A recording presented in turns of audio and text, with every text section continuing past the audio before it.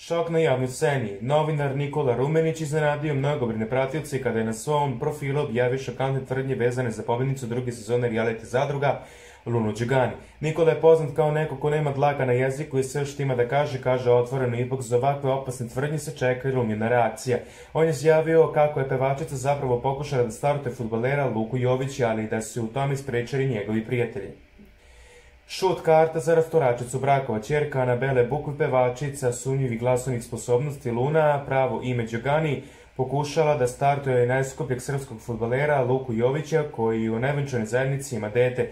Drugovi našeg futbolskog asa nisu dozvolili da mu priđe Lunija, inače u javnosti glumata da je zaljubljena učesnika zadruge Marka Miljkovića, napisao je Nikola. Da li će Luna ili Luka odreagovati na ovo, ostanem da vidimo.